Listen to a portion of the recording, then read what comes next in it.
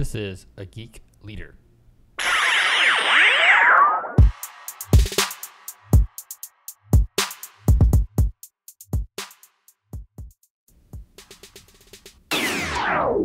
Hey, Geek Leaders, welcome to episode 181 of Geek Leader Podcast. I'm your host, John Rouda, and today's episode is brought to you by Live at Manning Conferences Math for Data Science. If you're securing a job in data science, uh, artificial intelligence, machine learning, or cryptography, or any other programming field, you have to realize that it requires strong math skills. And the Live at Manning Conference Series is doing an event, Math for Data Science, and it is a unique chance to learn from some of the statisticians and other math masters that are involved in the Manning network of experts. And it's a free event, which is awesome. It's live on Twitch on December 1st, um, on December 1st, 2020 at noon Eastern Time. And you can find out more about that at geekleader.com slash math. Again, that's at geekleader.com slash math. All right, Geek Leaders. Today on the show, I've got Chrisa Zindros Boyce, and she is the Chief Strategy Officer for Handel Group. And today we're going to talk about leadership, coaching, and some of the things that I need help on when it comes to uh, soft skills, communication, and uh, making improvements and change management within our team. Uh, Chrisa, welcome to the show. Thank you for having me. I'm excited to be here. Um, to help our audience kind of understand your career journey and your background, and just to, to lay some context for this conversation, can you tell people how you got to where you are today and what that journey's been like for you? Sure. So uh, I started off my career in retail slash fashion, and it was my biggest dream to actually work for a big retail company. Like, I really did want to go be the person who dressed the mannequins at J. Crew. That was my dream, uh, and I actually figured out figured out a way to make that happen. Uh, much to my own surprise, I didn't have all the contacts or connects or even the uh, true education to really be in that space, but I was really committed and figured out my way, basically, sort of like wiggled my way into the field. And um, once I got there, my big goal was to become an executive before I was 30. That was my really big dream. I just kind of made it up one day and I thought that would be really cool and make me proud. And so I went on that journey. And what I discovered as I grew in my career was that being a manager is much more um, hands-on and tactical than being a leader is. And so I didn't really know how to lead. I had no idea what I was doing. I really thought that if I kept working harder and doing my job better and more efficiently, that that was going to help me lead a team. And that was so wrong. And so it actually got to the point where I was growing in my career. I was getting promoted. I had more people underneath me and I was failing. Mm-hmm. And so my solution to failing was I should quit.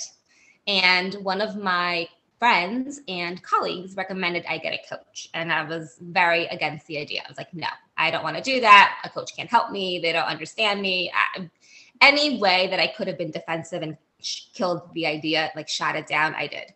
But my friend was persistent as she had a coach. And uh, she was like, You really need one. You really need one. So finally, I listened and I got myself a coach, and it was a life changer. I really got that I needed to learn how to lead, and the coach really helped me figure out how to do that. So, how I ended up as a coach at, at Handel Group is that in that process of being coached, I fell in love with coaching and realized, oh, wow, somebody really does this, ha- have, has this job. Like somebody really does go help people figure out their career and how cool is that. And i decided that i wanted to learn how to do it. And so um, through training and being part-time for a while uh, as a coach and still kind of managing my full-time uh, fashion job uh, i finally got to the realization that it was time to make a career change. And here I am. I've been a coach now with Handel Group for about 10 years. Um, I work with teams and leaders and helping them be more efficient, scale, and have better communication. And officially, as of the this year, I'm also the chief strategy officer for Handel Group, and I'm helping the company scale and grow, which is really exciting because I get to marry what I used to do in fashion and in retail with um, what I do now in coaching. Awesome. And uh, let me ask you a random question. Um, how important is fashion when it comes to leadership and management, or is that important? It's such a good question. you asked it.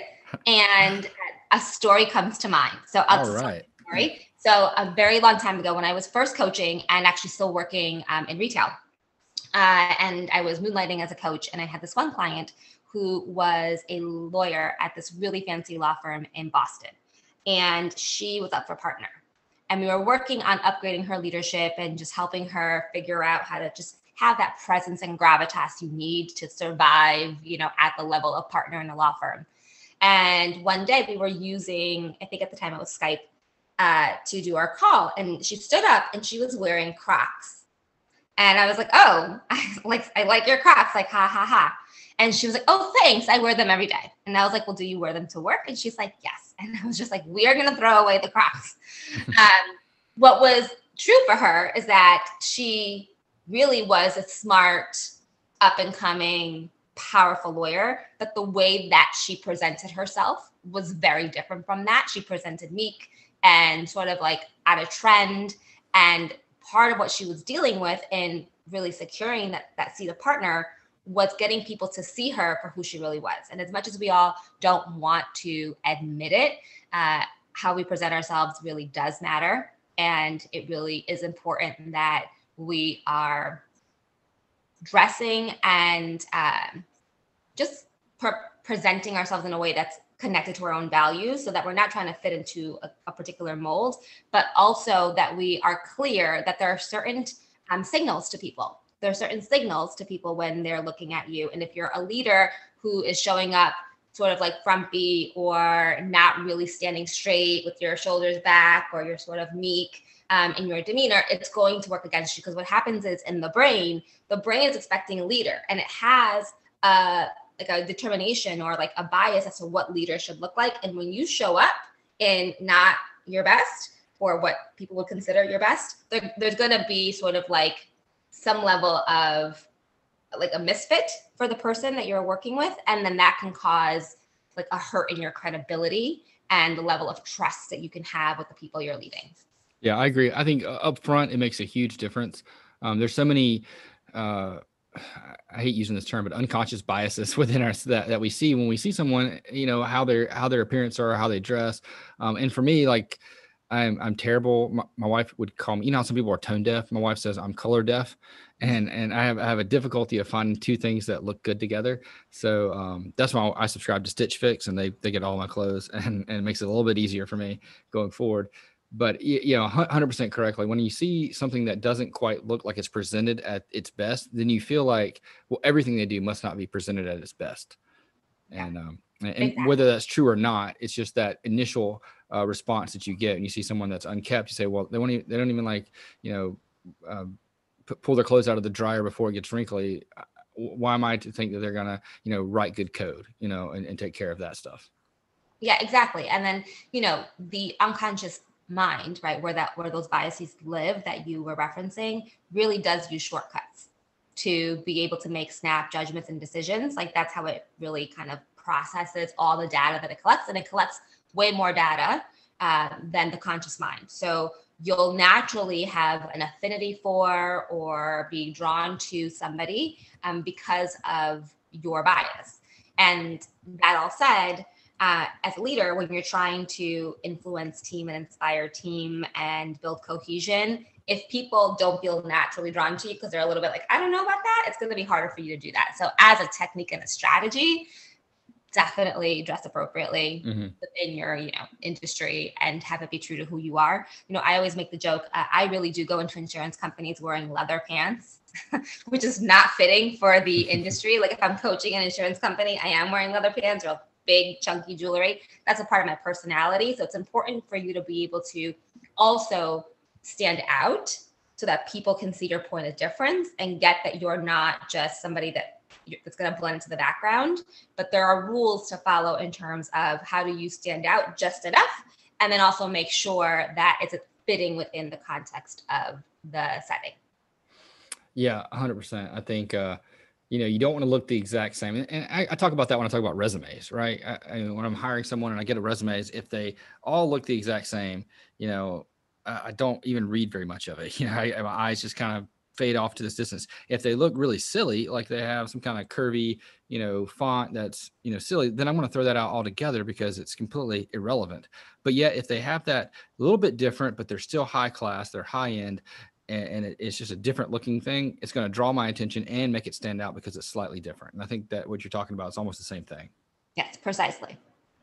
So help me out with some some uh, you know you're you, you moved into leadership coach you said you took some training to get there um, and what, what what is that training like? Like for example if, if i'm a um, eh, you know a cio or cto at a company and decide that my next career move is to uh, get into coaching because i feel like you know one of the big things that a cio or director needs to do to their people is also not just be a manager but a leader and also a coach to some of them.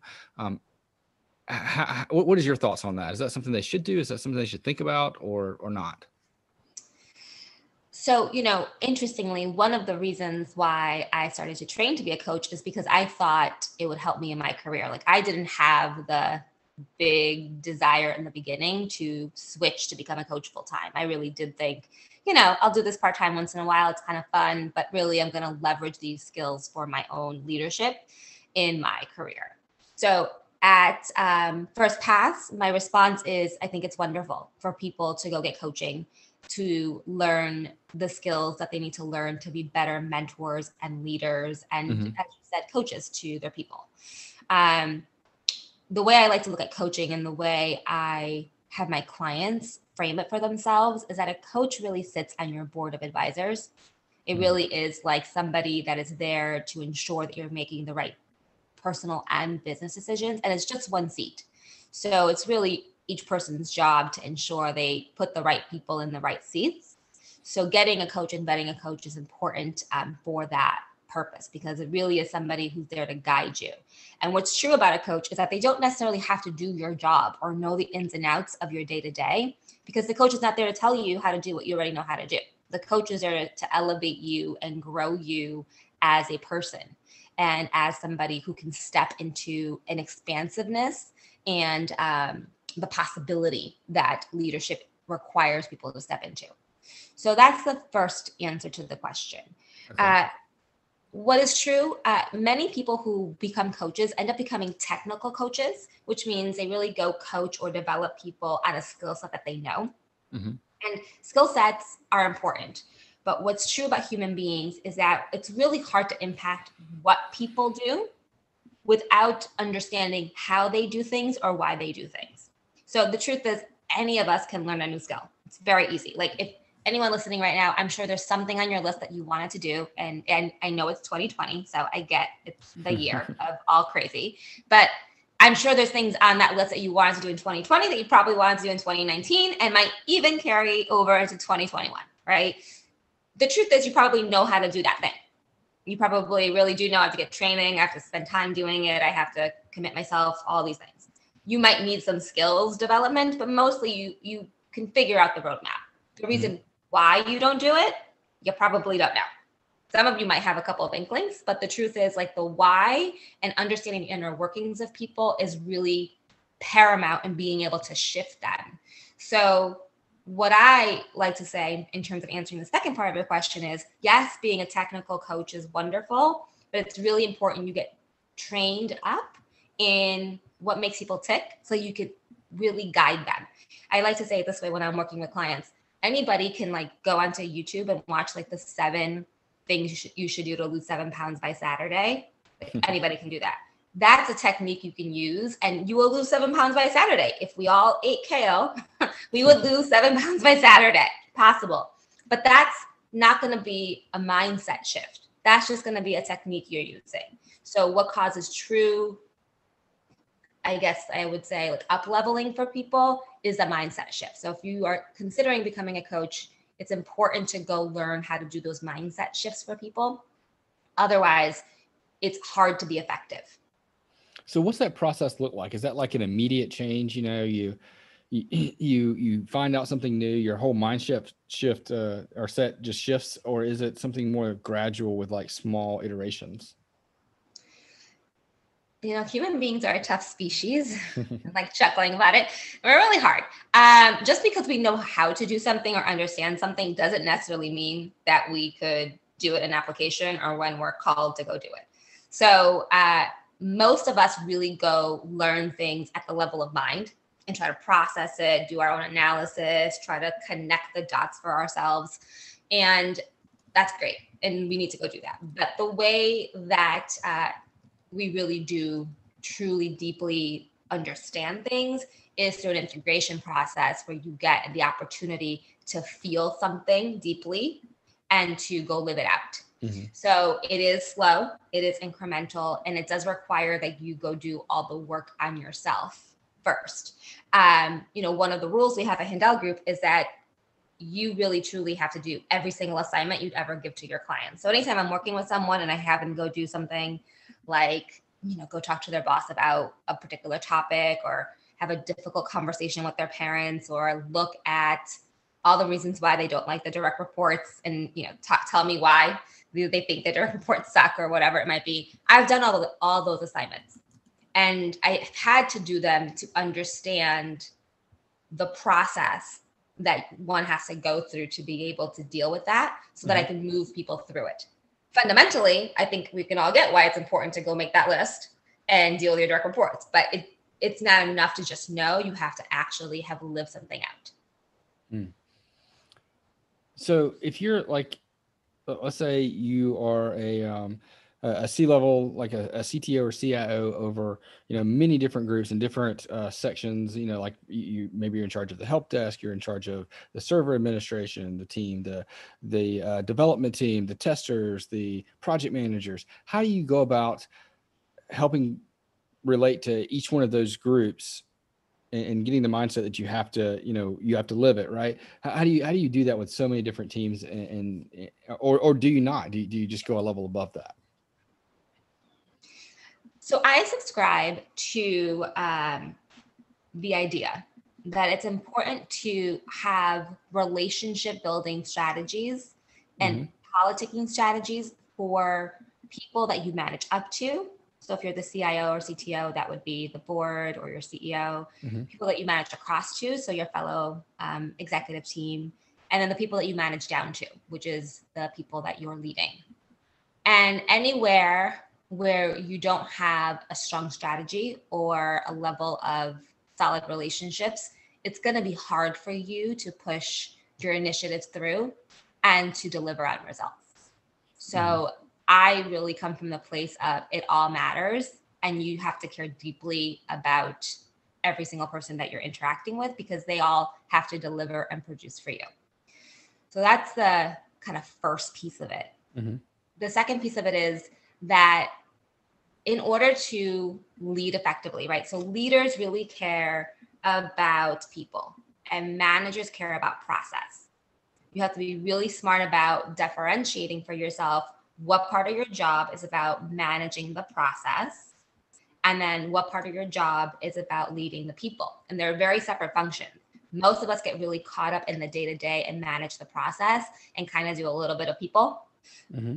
so it's important to actually sit down and go okay what does it look like for me to lead the people?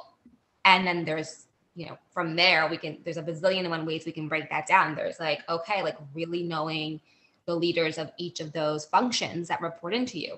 There's understanding the pain points of the business units that you're supporting. There is getting what the people who you're interacting with really care about, like on a level of what they want to push forward in the organization or what they need from the organization or from your teams um, that might be helping them in pushing through ideas. So it's important you spend the time to really get to know what people care about you really do have to care more about what people care about than what you care about because the only way it works to get buy-in and coalesce a team is if people feel supported. Mm-hmm. So taking that time to really understand what people care about in an organization and figuring out how you can be useful and authentically figuring that out is a very important step. So uh, go go ahead. Yeah, I I, I want to teach something. So, because I think it's a valuable thing to go teach. Mm-hmm. Uh, relationships live on two levels.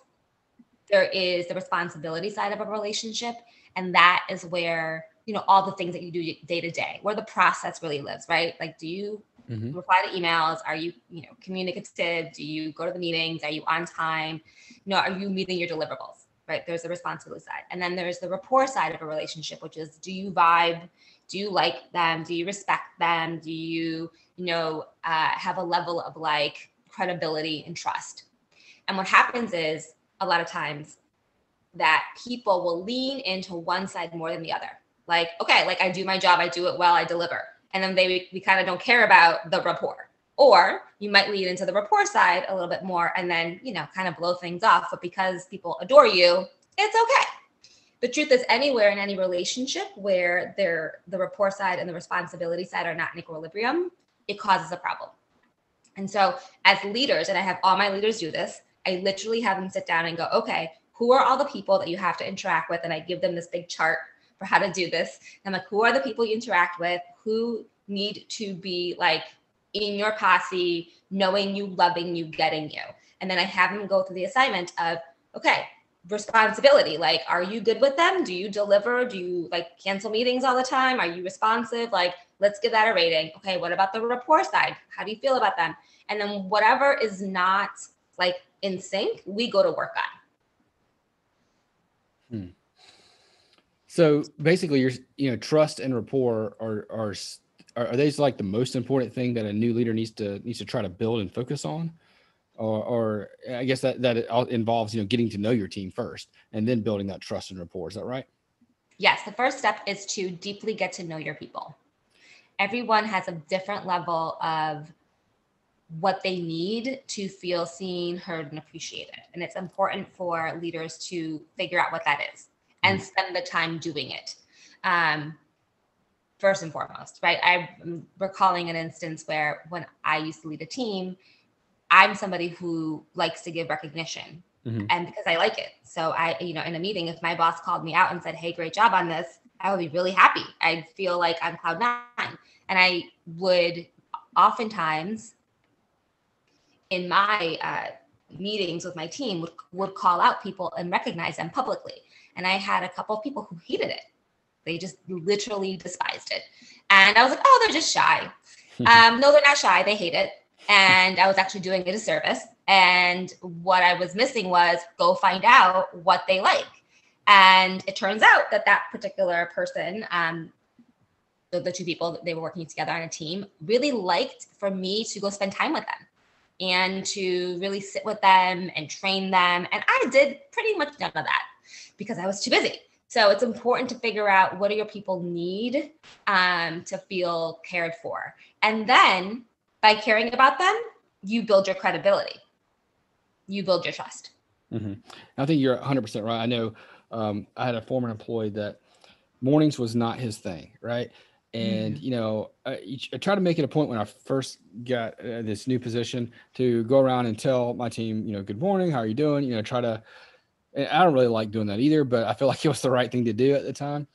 And this person always said, Hey, back to me. And then after I got to know them, you know, through one on ones and just working with them for a while, one point they said, You know what? It annoys the crap out of me that you tell me good morning every morning. And I was like, What? He's like, I just, I'm just tired. I just want to like get my day going. I don't want to have to stop and say, Yeah, good morning and pretend like I'm all happy. and it's just one of those things where I didn't realize that. And I thought I was doing the nice thing and the right thing. Um, but until I got to know them, I realized that I was just, you know, really pissing them off. Yeah. Yeah. And you didn't mean to. You were really trying to be the best boss you could be. And then, you know, kudos to that person who was like, hi, this really irritates me. That level of honesty doesn't happen often in an organization. So it's great that that person demonstrated that. And it's an important uh, note for people listening to take away. You want that level of honesty from your people. You want to go ask them, hey, like, how am I doing in leading you? Mm-hmm. How am I doing? Like, is this working for you? Because it really is a reciprocal relationship. If they're not feeling connected to you, cared for, seen by you, like you're respecting their boundaries and their time, you know, good luck on getting them to deliver when you need them to.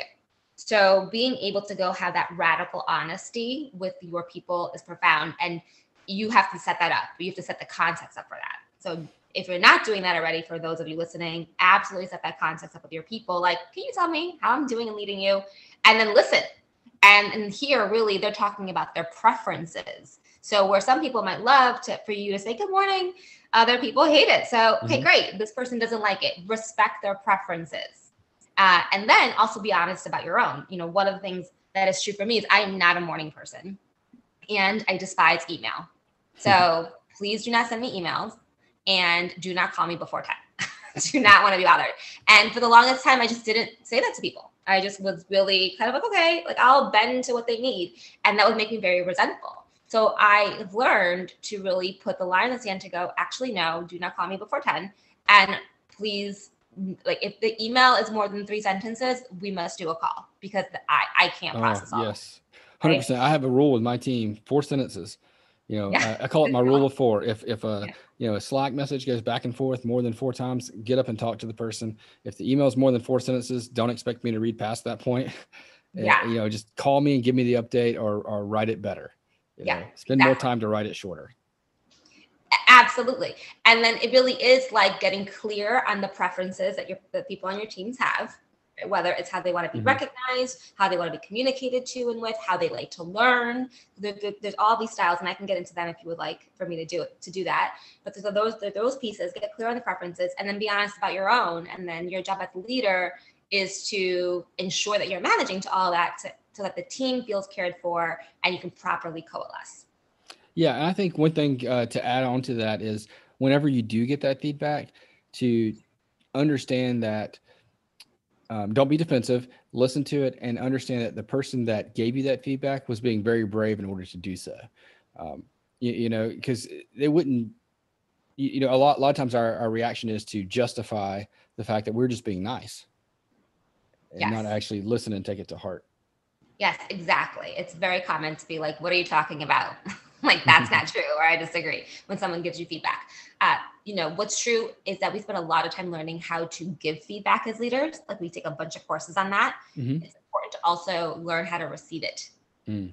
and uh, as you were just saying not getting defensive because if you do get defensive your people are not going to come back to you and tell you again. Right. like what's the point? You were just mean to me and it's scary to talk to your boss. So now if i just got yelled at or dismissed like i'm not coming back which then means you have a problem on your hands because your team is not speaking up about the pain points that they're dealing with. And your job as a leader in the leader function is to remove obstacles so people can really thrive in their jobs, like as the leader, right? As a manager, you have other functions, but as a leader, remove obstacles so people can thrive. And if they're not able to communicate with you, you're just gonna get, you know, that fake story, like everything is great, I'm fine. Mm-hmm. and then they go gossip behind your back. Yeah. So, so um, help me with this because I know when I was first starting out in management, I felt like I had to always be right to earn the respect of my team, which is I know now that's 100% wrong, but that led to a lot of defensive uh, posturing and I guess behavior and justifications of the reason why I do things and the feel I felt like I, I had to explain it in detail to get them on my side. Um, and now I know that's wrong. What should I have been doing, you know, during those situations? So it's actually um, a little bit of a complicated question because there's so mm-hmm. many pieces to it. Okay. Uh, I want I, I want to start off by talking about a principle that we teach at Handel Group because I think sure. it's an important principle to land us in. So there's this principle that we teach called the power of one, and it ties into relationship dynamics. Uh, sometimes when I explain it to people, they get a little confused because we use numbers and you know to explain it. But essentially, what we mean in the power of one is that there is a hierarchy and a pecking order in everything that we do right? Mm-hmm. And in the hierarchy and pecking order, there is like a code of conduct for how you're going to act. So you, as the boss, really do get the final say. You get to make the call and you get to override everybody because you're the boss, and ultimately it falls on your shoulders. Mm-hmm. Right. So in the hierarchy of you being the boss, like you really are above everybody. Okay. And that's important to note. But that lives in the physical world, right? It doesn't live in the world of the relationship where you're emotionally connecting with people, having to lead them, get buy-in, convince, coalesce, cause cohesion, etc. Right? Mm-hmm. And in that world, there is no you're above them. You're both equal, like equal professionals with opinions and ideas for how to do something. And anytime where you don't see somebody equal on the playing field of how you relate to them, right? So not in the physical, so clear, you're the boss, right? Anytime you're not seeing them as equal and you do what we call twoing somebody, meaning you make them less than you, Mm-hmm. And the way that people do this is we go into like judging them or comparing them or uh, doing some level being in competition with them. So anytime we start to like or you know doubt have doubt come in, anytime we do some version of that, it hurts your ability to get that person on board with you. Try, like not being an equal playing field makes it impossible to get alignment and agreement. And so whenever you're trying to prove yourself as right, it really is like you want to go cause domain and mm. you want to be seen as a person who was right. So there is a level of competition, there is a level of comparison. Um, and there's a level of doubt that kind of gets thrown in there in terms of like, I don't know if I trust that person because I know that I'm right. Right. So the um, reason why I brought this up is because many leaders fall into this particular pitfall. We know that we're the leader. We know that we mostly have the right answers and how to do something, but then we have to really guide our people to it. And the best way to go do that is to always be on an equal playing field and never to someone. That's really tough to do sometimes, though. You know, yeah. Especially like you know, I, I grew up playing sports. I'm very competitive, and sometimes I see like the uh, different viewpoints as almost a competition, like you were saying, and you, you want to win that competition. Uh, and it's really hard to kind of step back and say, no, we're on the same team here. We're not competing. Yes, perspective is everything. Perspective, yes. yes. um, Yes, as we were chatting earlier, I was sharing about my husband and perspective is everything. He's still he's still learning that. Um, that's an important quality. The minute you drop into competition, uh, self doubt, you know, in some way, a com- mm-hmm. or a comparison with somebody, um, or like a level of jealousy or whatever, right? Like the different forms that all these things can take on for people. The minute you drop into that, you're out of being a leader. Now you're making it about you. Mm leadership is about caring about the we, the team. And if you're not really super and like almost myopically focused on the team and you slip into caring about you, you've lost the team. And it's it takes work to be able to take yourself out of that competitive state. And in coaching, we teach people how to do that actually. We teach people to go, okay, well, this is how you do it. You go into being competitive. And then okay, this is what the impact of that is. And then this is how we're going to go mitigate that for you so that you can learn how to get yourself quickly out of that comp- uh, competition mode and back into where you're the most powerful which likely for you john would be some version of like understanding really listening um, analyzing the ideas like whatever version that is for you but getting quickly out of that competition and into back into the state of coming from your highest self yeah, I know for me, it takes um, very intentional uh, effort uh, for that point. Like, for example, when I'm giving a one on one, I spend a few minutes beforehand trying to put myself in that person's mindset. Whenever I see, like, sometimes on team, somebody will send me something and I think they're wrong. And instead of just firing off, I'll have to stop and talk about well, what's the end goal here? You know, the end goal is that we achieve this project or thing. It's not that we do it my way. Um, so let me back off a little bit you know and, and i have to I have to think about what is the end goal? What is the you know is it you know like you said leadership is not about we it's about i mean it is about we it's not about me. You know mm-hmm. you have mm-hmm. to I have to always say that you know to my mind. And a lot of times it's just changing my words. Instead of saying i think i say we should you know and i start say, saying the words we and us instead of me and my and i.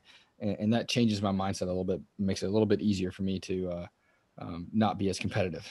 Yes and that's a great hack by the way, reframing it to the we and the us mm-hmm. is powerful because it really does land, it, it's inclusive versus exclusive, right? And it lands people in that place of like, okay, we're in this together. And while it sounds sort of silly and like, yeah, right, does, does that word really matter? It does. Um, it actually doesn't change how people view you and it does change how they feel that they can speak up or not speak up. So good technique and hack there. I will also add to you, and I don't, I don't know if mm-hmm. you're doing this, but I teach my clients that it's important to come from curiosity. So instead of making statements, ask questions and authentic questions, right? Not patronizing ones, but authentic questions where you're like, okay, I'm curious, like, how did you get to this? Or I'm curious your thought process, or, you know, can you explain more to me about this? I have a question about X, right? Really, truly coming from curiosity versus coming from a place of I disagree or I don't follow your logic or this doesn't make sense. This isn't what we discussed. Like those statements uh, don't have any room for true sort of like back and forth conversation. They are like a statement that equals now go defend yourself. And so you'll quickly find yourself in an argument with somebody or somebody kind of backpedaling or tripping over their words or, def- or defending themselves in some way if you approach challenges with statements. Mm-hmm. I think that's really good advice um, to, to approach them with a curiosity, you know. And um, I was talking to someone not too long ago about the fact that you know we as leaders need to be more curious than declarative. You know, we we, tell, we like to always give people, you know. Uh, and you look at the old TV shows; it was always like the the mean boss that would always just tell people what to do. And in reality, we need to be approaching problems with curiosity, especially in the tech field, because I think you know, as as a technology person, our jobs are constantly changing. We're constantly having to you know reinvent the, the, tools and things that we use as new languages come out new things are, are, are being created every day. And and even i guess everybody's doing this now with covid that that everything has kind of changed and we're having to refigure things out. And i think approaching things with curiosity makes a huge difference. Absolutely. So um what are some some other pieces of advice that you might have for a, a new leader that let's say they were managing a team and now they you know, got promoted into the the dreaded role of being the manager of that team that they used to be on. Um, what are some some pieces of advice that they can start doing? Because they probably already know the people they have that good relationship because they used to work with them but now they're their boss. How do you how do you go go through that experiment of of of shifting around and what are some advice that you would have for someone in that role so the biggest downfall i see is that people don't set up the new code of conduct for how they're going to work together and then anything that was true in the previous relationship that they had that uh, perhaps may have been off or a challenge or an issue only gets exacerbated by the fact that now you are the leader. And so the first step is to sit down with yourself and really think about the code of conduct that you want with your direct reports or employees, however you view them. First part is getting really clear on the meeting structures, the ways that you like to communicate, and all the different sort of processes that you need to put in place. Not for the management piece, because likely if you've been if you've been elevated to manager, you know how to do that management piece well, but for the leadership piece.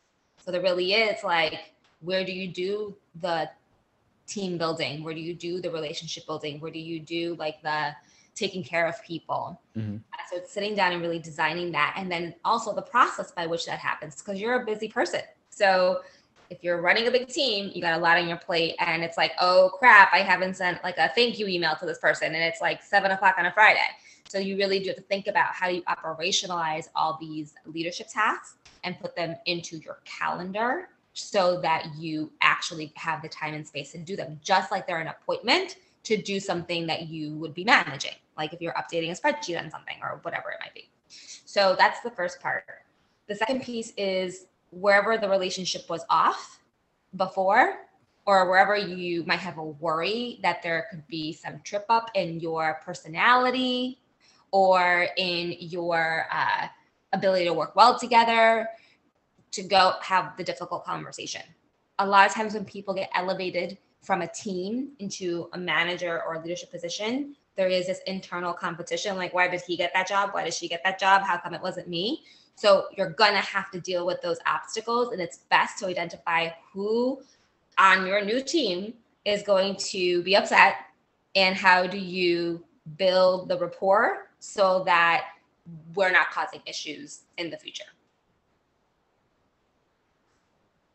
I think that is absolutely great advice. Um, and I think we should close with that because that was just, um, you know, I think that hit the nail on the head. How can people find out more about you and connect with you and learn more about the things that you guys are doing over at the uh, Handel Group?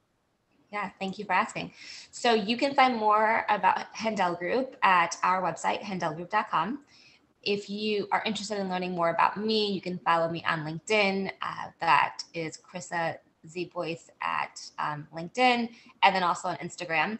I reference those two platforms because in my world, I do a lot of um, speaking and promoting around issues of DEI, uh, equity specifically in the workforce, and then also inclusion. And I do a lot of uh, speaking around women in leadership. So if anyone's listening, that cares about those topics. Uh, if you go hunt me specifically on the interweb, you will find a bunch of videos, content, blogs, other podcasts in which I talk about these things. Also, for anybody who is a new leader and is like, okay, you know, I might need some coaching and I know I have to look at myself, we as a company have created a product called Inner U. Mm-hmm. And we created this product because the truth is, coaching can have a big barrier to entry because it can be quite expensive and very time consuming. And while companies are usually very happy to pay for coaching, sometimes it is a little bit of an uphill battle. So, this product is a learner led uh, digital coaching program where essentially you get everything you would experience in a coaching engagement, but in a do it yourself at your own pace format. And so, if you're new to a job and you really deeply want to upgrade yourself and want to understand your own inner workings, what drives you, what motivates you. You know, if you're like John and have a big comp- competitive trait, or if you're like me and have a big defensive trait, because that's what I do when someone gives me feedback, I'm like, you know, screw you, leave me alone. Um, you know, th- that program would be really useful to just get you into the basics. Um, that's called Inner U. We have a couple of different uh, categories of the program. The one I would recommend for people listening is the career program, Inner U Career. It is the one in which we also talk about the relationship dynamic components that I've been speaking to on this uh, podcast. And uh, it would be useful if you're going to be managing a team to understand how to really drive those dynamics. Awesome. I'm going to link all that up in the show notes as well as your Instagram, the website, and uh, uh, your LinkedIn. And uh, again, I really appreciate having you on the show. It's been a lot of fun. I enjoyed the conversation, and uh, I hope you have a great week. Thank you for having me. It's been a blast. Hope you guys enjoyed that interview. And if so, please share it with a friend. Don't forget to leave a rating and review in Apple Podcast and share the episode on social media. And also, don't forget about our sponsor, the Manning's Math for Data Science Conference. It's a free event on December 1st, and you can find out more about that at geekleader.com slash math.